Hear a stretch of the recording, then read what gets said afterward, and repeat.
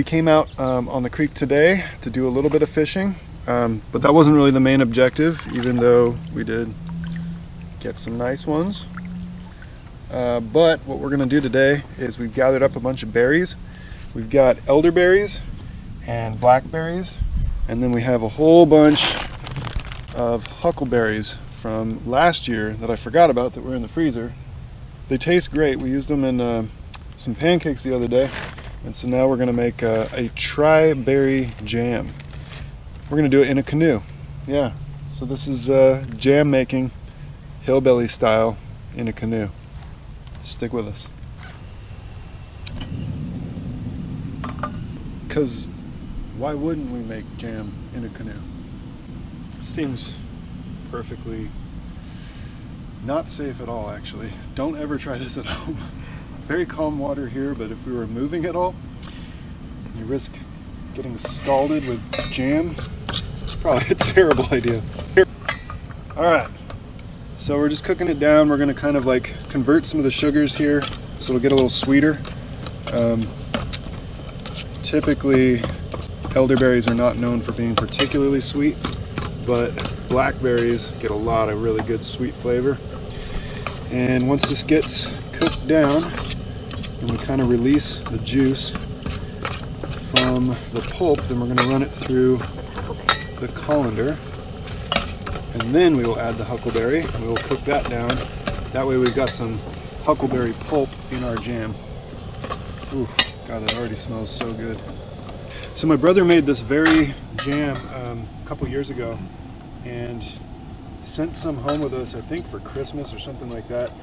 And we were just astounded at how good it was. Um, the blackberry, you know, everybody knows what a blackberry tastes like. They're fantastic. The elderberry doesn't have the most amazing flavor on its own, but what it lacks in flavor, it makes up in bulk. So we picked like one little cluster of elderberry and got all the berries that you saw in here earlier and there was probably like 300 or 400 more clusters of the same size on that one tree.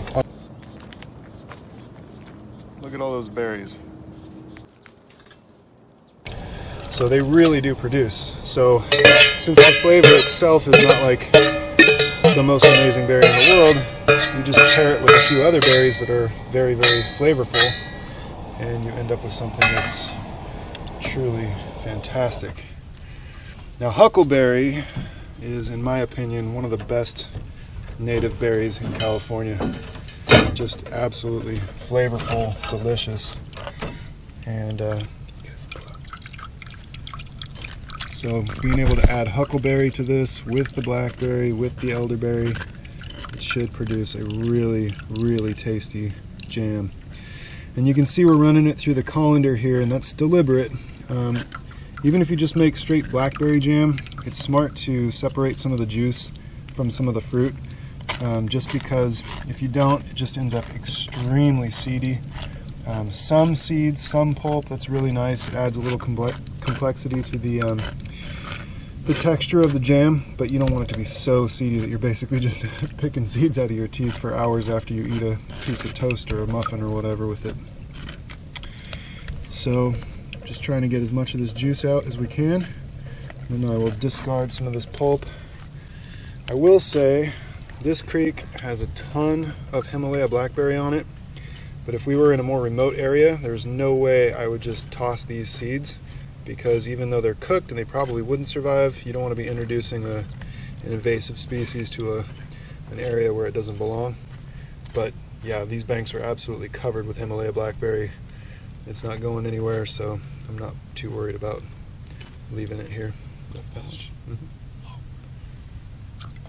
That's good. That fish has jumped there, there, and there.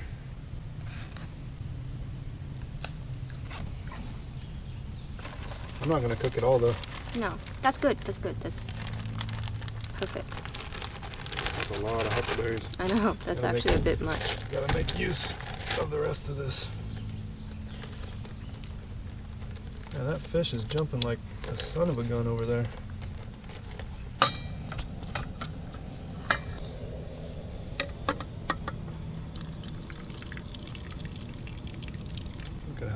That juice is. Chef Kevon. Smithy. Oui, oui.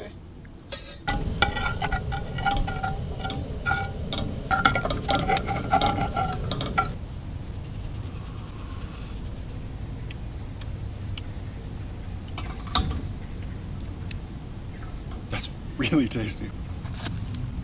I don't think I'm supposed to put name brands. I'm not going to put a name brand, but there's only a few name brands in the world that do pectin. Pectin is basically that the waxy substance on the outside of an apple, and uh, some fruit have more pectin than other fruits.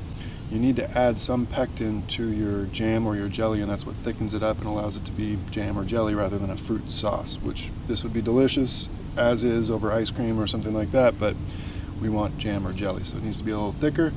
So we're gonna add some pectin to kind of thick up, thicken up the whole thing. And this brand, which I'm not gonna say who is, I can't talk right now. I've been in the sun too long. This brand comes with a bunch of recipes for different jams and jellies, but depending on the fruit you're using, how much pectin to add, do you need to add citric acid, that kind of stuff. So, um, you know, research it a little bit, find some pectin. The other way you can do it is with gelatin. Um, I don't like that as much. Gelatin just kind of has a weird texture. It's like the, the jelly inside of a jelly donut. It's not exactly my favorite. So I like pectin. Um, a little bit tastier way to go, I guess.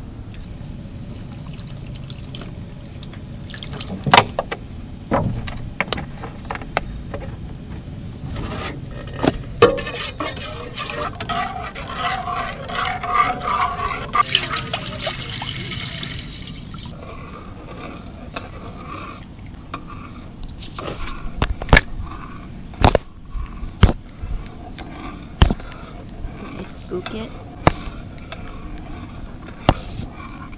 Probably. Worm's like the same size as the fish. I got it! What the?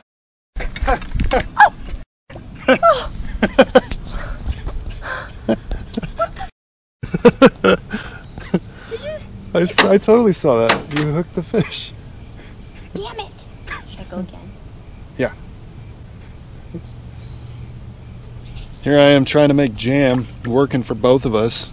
The woman's fishing. Up to no good. Unbelievable. Alright, so we got the jam to a rolling boil, so that should sterilize it. We're heating up some water now, and with this, we are hoping we can sterilize the jars.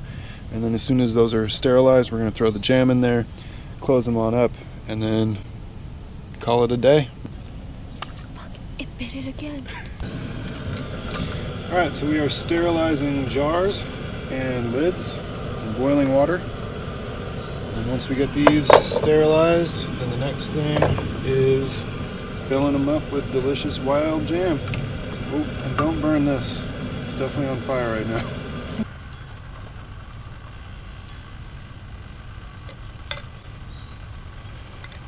Here, in theory. Yep. How full do you go?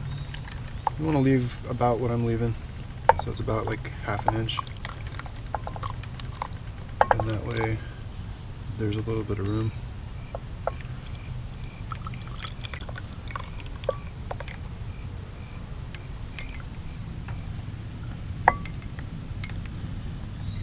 Okay. So you got a little bit extra. It's okay. Okay.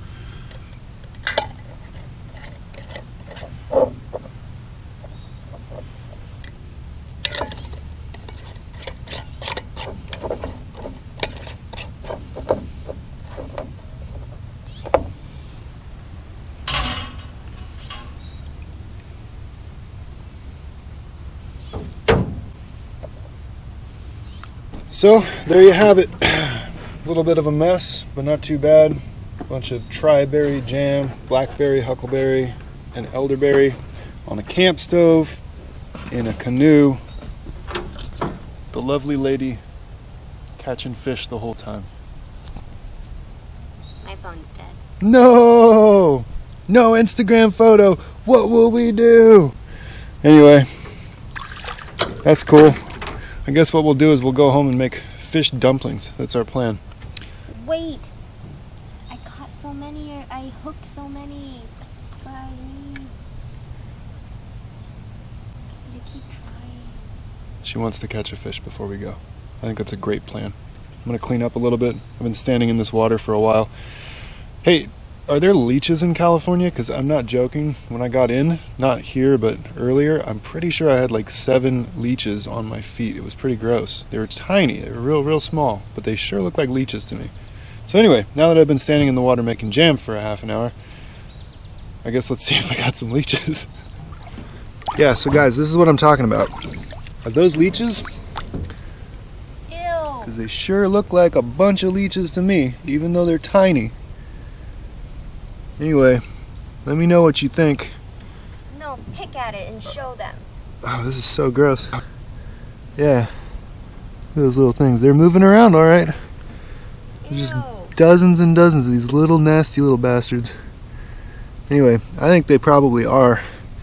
So hopefully they don't carry any diseases. Anyway, that's gross. We're gonna, I'm gonna clean my feet and then we're gonna go do some fishing and have some fun. But anyway, I wanna get those things off my feet. nice way to unwind, spend a Saturday.